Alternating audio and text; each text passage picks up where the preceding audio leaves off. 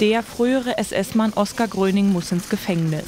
Der 96-Jährige wollte aus gesundheitlichen Gründen die Haft nicht antreten. Sein Gnadengesuch wurde jetzt aber in Lüneburg abgelehnt.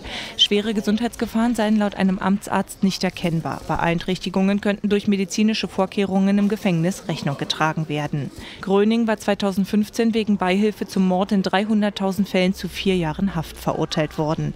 Er hatte gestanden, im Konzentrationslager Auschwitz Wertsachen aus dem Gepäck der ankommenden Juden erfasst und weitergeleitet zu haben.